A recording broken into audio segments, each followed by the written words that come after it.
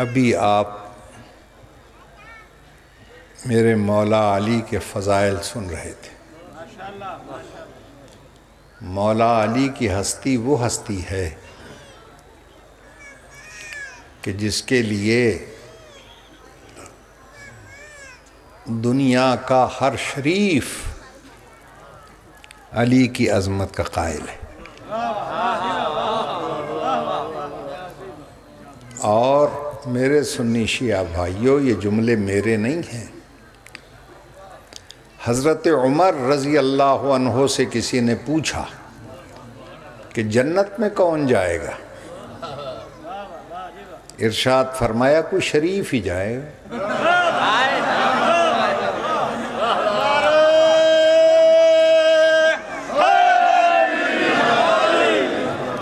जन्नत कमीनों की जगह तो है नहीं। पूछने वालों ने फिर पूछा, हज़रत, ये बताएँ कि शरीफ किसे कहते हैं? अब हवाला देता हूँ बरदरान अल सुन्नत की मशहूर किताब सवाक़ महरक़ा का। रज़ी अल्लाह ने फरमाया, ला यतिम शरफ़ इल्ला विलायत अली इब्न अबी तालिब।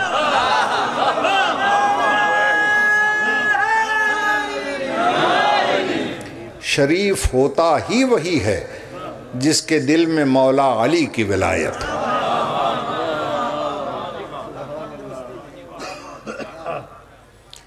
मैंने तकरीबन तकरीबन काफ़ी मज़ाहिब का मुताला किया।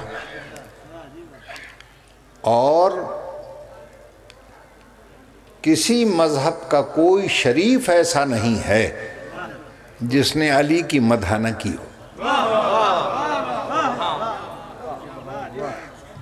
वो हिंदू हो, सिख हो, ईसाई हो, कोई हो। अगर उसकी रगों में शरीफ लहू है तो अली के दरवाजे पर सर तस्लीम खम करता मिलेगा। आप सबको याद है, मशहूर शायर है हिंदू कृष्ण बिहारी लाल नूर, जिसने कहा था निसारे मुर्तज़ा हूँ, पंजतन से प्यार करता हूँ।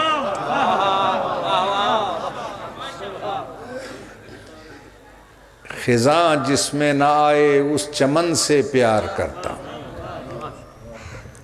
और अकीदा मंजिल इंसानियत में कब ज़रूरी है? मैं हिंदू हूँ, मगर एक बुझशिकन से प्यार करता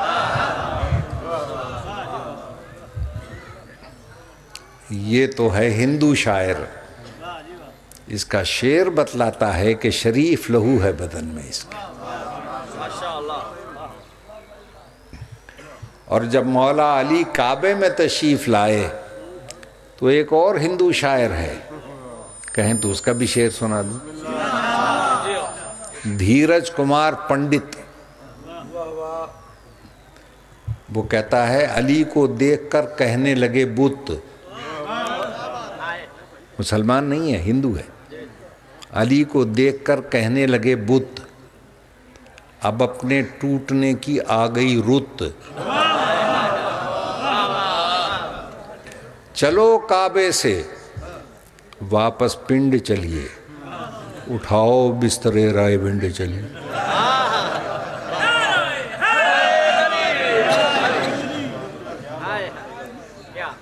तवज्जो है साहबान।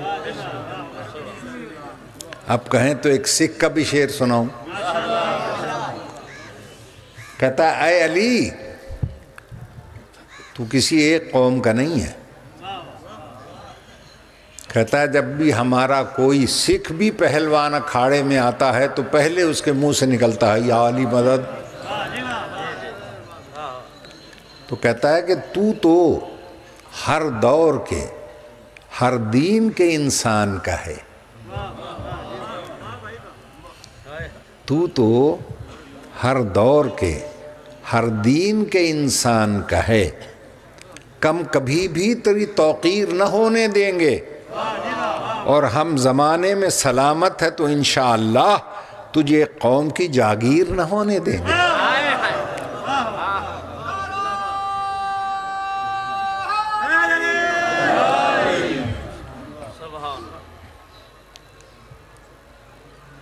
यहाँ सुन्नी और शिया की तो कोई बहस ही नहीं है। मौला अली की ज़ात वो ज़ात है, जिसके बगैर न सुन्नी सुन्नी रहता है, न शिया शिया रहता। है दोनों ने अली को मानना है। फ़र्क इतना है कि शीयों ने पहला माना, बरदरान अल सुन्नत ने चौथा और आखिरी माना। पांचवा कोई खलीफा राशिद है ही नहीं। खिलाफत राशिद अली व ख़त्म हो गई।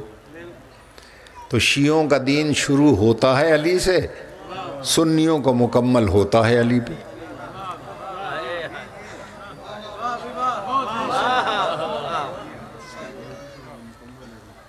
तवज्जो है ना मेरे मोहतरम सामीन? और वो सिख शायर एक और शेर भी कहता है, कहें तो वो भी सुना देता लब पे जब शाह शहीदा, तेरा नाम आता है।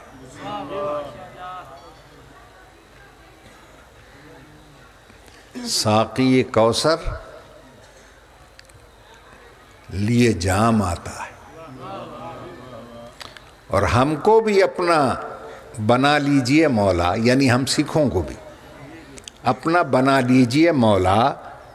खोटा सिक्का भी तो आका का भी काम आता है।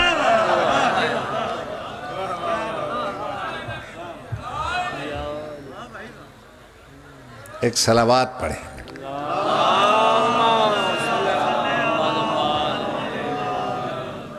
ये हस्तियाँ ही ऐसी हैं, जो पूरी दुनिया का सरमाया मुश्तरक तवज्जो है मेरे बहुत वही कंवर मेहंदर सिंह बेदी जो हिंदू शा, सिख शायर है। कहता मैं जो गया एक जलसे में जो मुसलमानों ने हुजूर की शान में मुनद किया तो कहने लगी ये सिख कहाँ से आ गया हुजूर की जलसे में?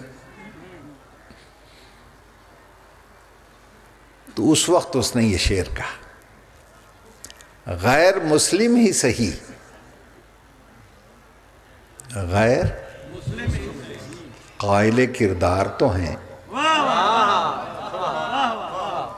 हम सना खान शहे हैदर कर्रार तो हैं।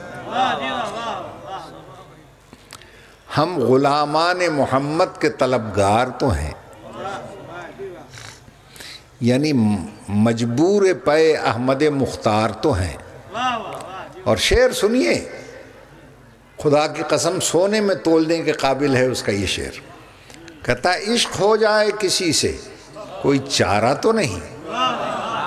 इश्क हो जाए किसी से, कोई चारा तो नहीं। और सिर्फ़ मुस्लिम का मोहम्मद पे इजारा तो नहीं।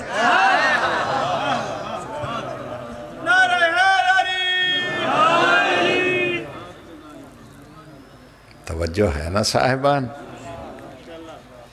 तो कहता है कि हमारे और हमारे जितने गुरु गुजरे हैं, वो सिर्फ़, वो सब के सब आशिकान मोहम्मद सल्लल्लाहु अलैहि वसल्लम। हमें भी उन्हीं की ज़ात से इश्क है। तवज्जो कीजिएगा। और अदब ने क्या कहा था? अदब ने कहा था, इश्क इंसान के बस की बात नहीं, हुक्म परवरदिगार होता है। और इश्क वालों को इल्म है इसका हुस्न के इश्तहार होता है। अल्लाह तो हसीन नहीं है वो अहसन है। यानी हुसन की सुपरलेटिव डिग्री पर अल्लाह है। और उसके हुसन का जो इश्तहार है उसे मोहम्मद मुस्तफ़ा कहते हैं। तवज्जो है साहबा। अल्लाह ने कहा, अगर मेरा हुस्न देखना है तो मेरे महबूब को देखो। इसीलिए हर इंसान और खसूस कलमा गो का नुक़ मरकज़ इश्क अगर कोई है तो हुजूर की ज़ात की ज़ात। क्यों? इश्क होता है हमेशा हुस्न से। और हसीन की कोई एक तारीफ़ तो है नहीं। हर इलाके वालों का अपना हसीन होता है। यूरोप वालों का अपना मैार हुस्न है। एशिया वालों का अपना मैार हुस्न है। लेकिन इस्लामी नुक़ निगाह से हसीन किसे कहते हैं वो बताऊँ आपको? इस्लाम में हसीन कहते हैं बेऐब को।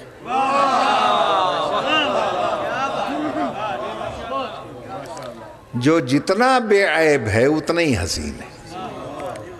और हमारे इश्क का नुक़ मरकज़ मोहम्मद का वो हुस्न है, जिसे अल्लाह भी कह रहा है कि, वो बेऐब भी कह रहा है कि ये बेऐब तवज्जो है साहब। कभी कभी कम पढ़े लिखे मौलवी बेचारों के मुँह से निकल जाता है। कि हुजूर में और तो कोई ऐब नहीं। कभी कभी भूल कर कभी कभी भूल कर, गलती भी कर सकते हैं। अरे भाई कभी कभी भूल जाना ही तो ऐब है। मौलवी साहबान कहते हैं कभी कभी भूल जाते थे। अल्लाह कहता है सनुखरियों का फला तनसा। ऐसा पढ़ा कर भेजूँगा ए मोहम्मद के तेरे भूलने का सवाल ही पैदा नहीं। अब मैं अल्लाह की बात मानूं या मुल्ला की बात मानूं? घबरा तो नहीं जाएँगे आप। ज़रा अकल से भी कोई काम लेकर देखे। अल्लाह ने कदम कदम पे कहा फला ताकलून, क्या तुम अकल नहीं रखते हो? अकल से भी काम लो। मैंने किसी से कहा, जनाब, बड़ी तकलीफ़ में हूँ, बीमार रहता हूँ। कोई अच्छा डॉक्टर बताएँ। उन्होंने कहा, डॉक्टर बताता हूँ, बरतानिया, फ्रांस, अमेरिका का पढ़ा हुआ है। लेकिन बस उसमें एक कमी है। कभी कभी जानबूझ के नहीं करता कभी कभी भूल कर नुस्खे में दवा की जगह जहर लिख देता है। मैं इलाज कराने नहीं जाऊँगा। आप कहेंगे, हर वक्त नहीं लिखता। कभी कभी भूल कर मैंने कहा, उस कभी कभी में अगर मैं भी आ गया तो फिर क्या होगा भाई? किसी ने कहा, मुकदमा लड़ना है, कोई अच्छा वकील बताएँ। उनका जनाब वो बारट लॉ और एलएलबी और फलां साहब हैं, जाएँ उसके पास। मगर उसमें एक ज़रा सी कमी है। कभी कभी अदालत में बहस करते वक्त आपके मुखालिफ का साथ देने लगता है। उनका, नहीं भाई, ऐसा वकील नहीं चाहिए, जो कभी कभी भूलता फिरे। एक ज़िम्मेदार ने गाड़ी ली कि अच्छा ड्राइवर तो दे दो। मैंने कहा, ड्राइवर बड़ा तजर्बाकार देता हूँ। मगर उसमें एक ज़रा सी कमी है। जब ट्रैफ़िक वाला इधर का इशारा करे, वो स्टेयरिंग इधर मोड़ देता। उसने कहा, मुझे ऐसा ड्राइवर नहीं चाहिए। क्यों भाइयों? आप ऐसा वकील नहीं रखते जो कभी कभी भूल जाए। ऐसा डॉक्टर नहीं रखते जो कभी कभी भूल जाए। ऐसा ड्राइवर नहीं रखते जो कभी कभी भूल जाए। मौलवियों ने अल्लाह को नौज बिल्ला अपने से भी कम अकल समझ रखा है, जो आलमीन की हिदायत के लिए ऐसा रसूल भेज दे जो कभी कभी भूलता फिरे।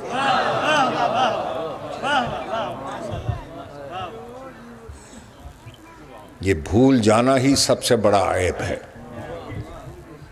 याद रखिए। क्यों भाई? मैं तो बहुत कम पढ़ा लिखा आदमी हूँ। बहुत बड़े फाजिल इंसान से आप कसीदे भी सुन चुके। मुझ कम पढ़े लिखे की एक बात का जवाब दीजिए। क्या आज तक किसी ने किसी ऐपदार की कसम खाई है? इधर जो लोग चुप बैठे हैं, शायद इनके यहाँ रिवाज हो। किसी ने कसम खाई है? मुझे कसम है तेरे टेढ़े मुँह की। मुझे कसम है तेरी लंगड़ी टांग की। मुझे कसम है तेरी फूटी हुई आँख की। मालूम कोई किसी ऐबदार की कसम नहीं खाता। और अल्लाह क्या कहता है? लामर का। ए मोहम्मद, मुझे तेरी सारी ज़िंदगी की कसम।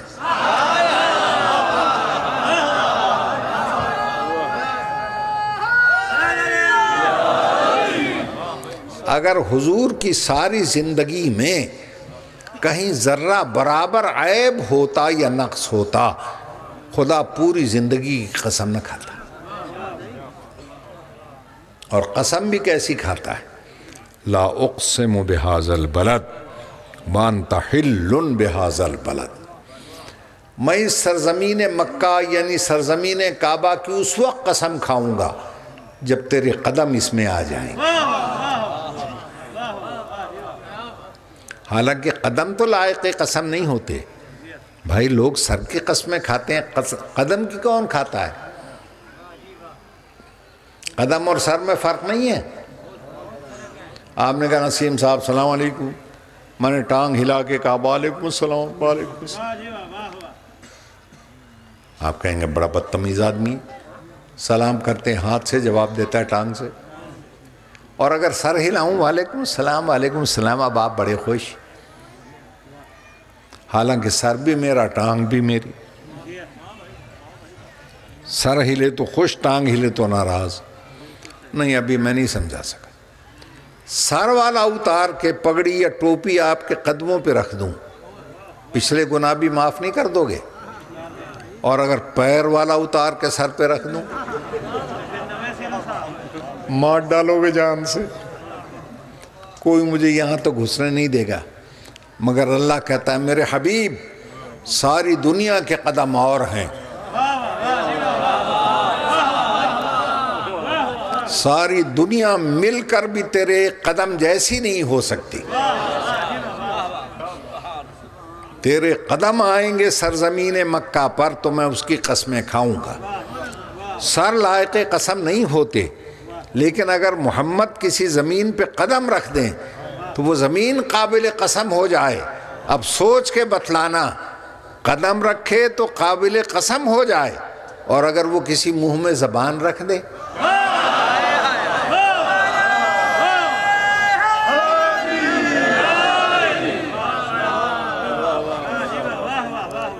तो अब उसकी अजमत को कौन समझ सकता है अब पूरी तारीख में सरकार दो आलम ने अपनी ज़बान सिर्फ़ दो जगह पे रखी।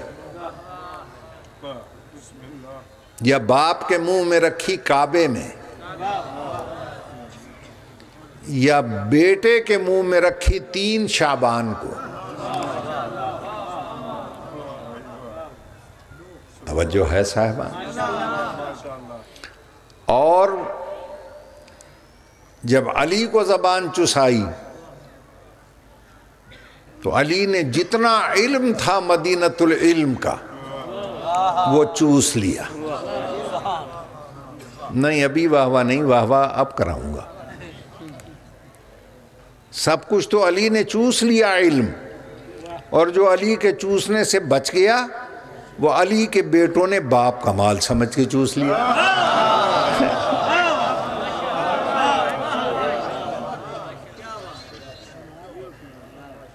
तवज्जो है मेरे मोहतरम सामने तो मेरी गुजारिश करने का मकसद ये है कि सबसे पहला फरीज़ा ये है कि हम अल्लाह के बाद हुजूर को पहचाने।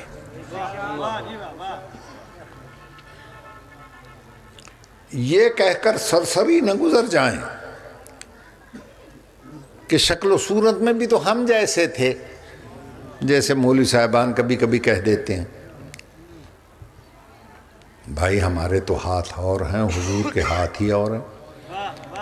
हमारे हाथ वो हैं, जब चाहे कोई मरोड़ के दो घूसे मार के तोड़ दे। नबी के हाथ वो हैं, इशारा करे तो बादल आ जाए। चाँद को दिखला दे, शक हो जाए। अबू जहल को दिखला दे, चेहरा फक हो जाए। मेरे बाल वो हैं, जब नाई चाहे काट के गंदी नालियों में फेंक दे। मगर हुजूर के बाल वो हैं, खालिद बिन वलीद अपनी टोपी में रख ले एक बाल, जिस जंग में जाए फातिह बन के आए। हर कल अपने ताज में रख ले, दर्द सर से शफायाब हो जाए। अबू साले के घर में रह जाए, फरिश्ते तमाम रात तस्वीर व तकदीस करते रहे। समझ में नहीं आता, या रसूल अल्लाह जब बाल का ये हाल है तो आल का क्या हाल है?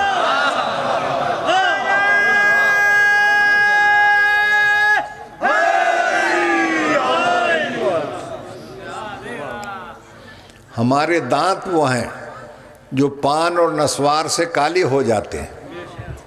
मगर हुजूर के दंदाने मुबारक वो हैं, अंधेरी कोठरी में मुस्कुरा दें। तो उम्मुल मोमिनीन को गुमशुदा सुई मिल जाए और जनाब खदीजा को यकसुई मिल जाए।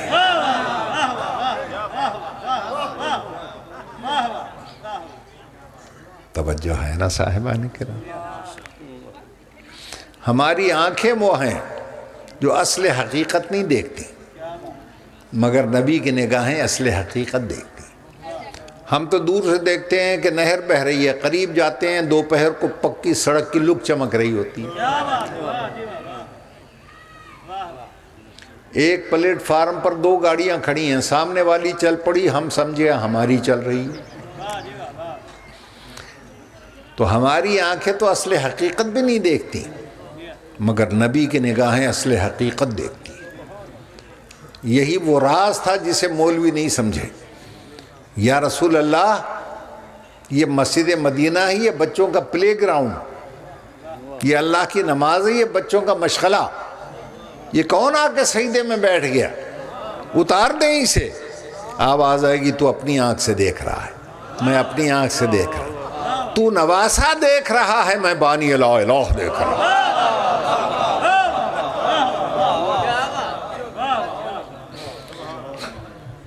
तू मेरी बेटी का जिगर देख रहा है। मैं दीन का लंगर देख रहा हूँ। तू फ़कत हुसैन देख रहा है। मैं शहीद कौनैन देख रहा सजदे को तूल दे दिया। हुसैन को नहीं उतारा। तीन दफ़ा सुबहान रब लाला की जगह सत्तर मरतबा सुबहान रब लाला पढ़ा। मैं सुन्नी शिया से पूछता हूँ क्या नमाज़ नबूत बातिल नहीं हुई? तो जो कहे बातिल हो गई, वो खुद बातिल हो गया। तो मुझे एक बात का जवाब देंगे सुन्नी शिया जब वजूद हुसैन से नमाज़ नबूत बातिल नहीं होती तो हुसैन के बाप अली के ज़िक्र से नमाज़ उम्मत कैसे बातिल हो जाए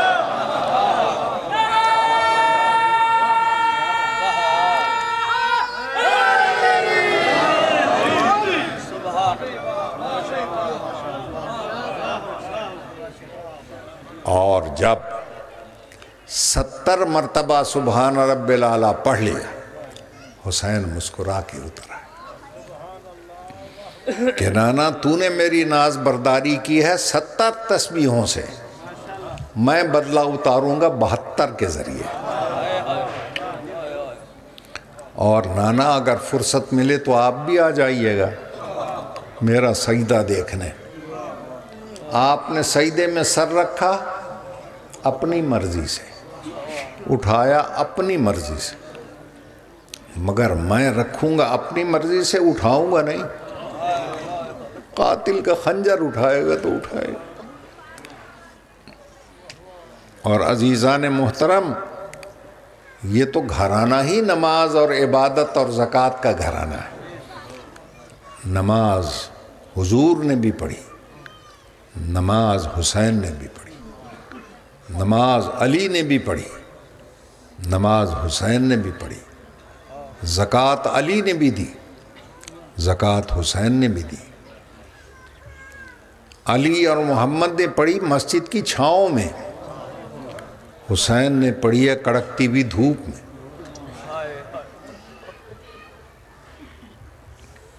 और अजीज़ो, ज़क़़त अली ने भी दी। ज़क़़त हुसैन ने भी दी। अली ने अंगूठी दी। हुसैन ने भी अंगूठी दी। अली ने अंगूठी दी, उंगली बच गई। हुसैन ने अंगूठी दी, उंगली कट गई। सारी ज़िंदगी बहन यही रोती रही कि जिस उंगली को पकड़कर माँ ने चलना सिखाया था, वो कौन ले गया? तो तड़पती हुई लाश से आवाज़ आई, पहले तू बता, तेरी चादर कौन ले गया? जहाँ चादर गई, वहाँ पर मेरी अंगूठी और उंगली भी चली गई। अजीजो, ऐसी बहनें किसको मिलेंगी? भाई की लाश पे आके कहती है, हुसैन भाई, मुझे तेरा वो वक्त भी याद है जब अब्बा ने दर्जी, जन्नत के दर्जी से तेरा ईद का जोड़ा मंगवाया था, वो दर्जी भी मौजूद है, वो जन्नत भी मौजूद है। अगर इजाज़त दे तो आज तेरी बहन उसी दर्जी से तेरा कफन मंगवा ले आवाज़ आई, मेरी बहन तकलीफ़ न कर। जिन ालिमों ने अंगूठी के लालच में मेरी उंगली नहीं छोड़ी, वो जन्नत का कीमती कफन कैसे छोड़ देंगे? बेकफन दफन हो जाने दें। वो भी आलिम गैर मौलमा थी। उसने कहा अच्छा हुसैन, तू अपनी मर्ज़ी से बेशक हो जा दफन।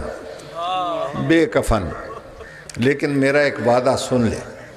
तेरी बेकफनी का इतना प्रचार करूँगी, वादा करती हूँ, क़ियामत तक हर मरने वाला तेरे करबला का कफन न मांगे, मुझे बहन न समझना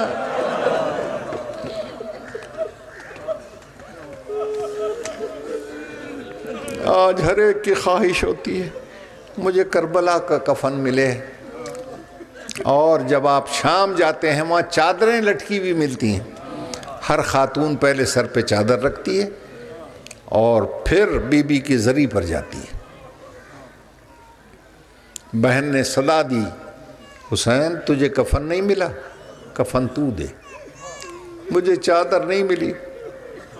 चादरें मैं दे क्यों? भाइयों, मैं भी देहात का रहने वाला हूँ, आप भी देहात के लोग बैठे हैं। मुझे सोच के बताइएगा, जब आज़ान आती है तो देहात की अनपढ़ औरत भी जल्दी से सर पे कपड़ा रख लेती। ऐसा है या नहीं? ये उसको किसने सिखाया, जिसने बाज़ार से दरबार तक पंद्रह आज़ानें सुनी? और हर आज़ान पे कहती रही, आज़ान हो रही है, मेरा सर खुला है, चादर दे दो। उसके सदक़े में हर मुस्लिम ख़ातून के सर पे चादर भी है और हर एक को कफन भी नसीब है। अल्लाह इन बहन भाइयों के सदक़े में मिलत मुस्लिमा में वो इतिहाद पैदा करे कि सुन्नी शिया की तफरीक़ी ख़त्म हो जाए और सारे मुसलमान मिलकर सरकार महमद मुस्तफ़ा की अज़मत को पहचाने और उनकी औलाद को पहचाने। और खुदा वंद आलम, इन हस्तियों के सदक़े में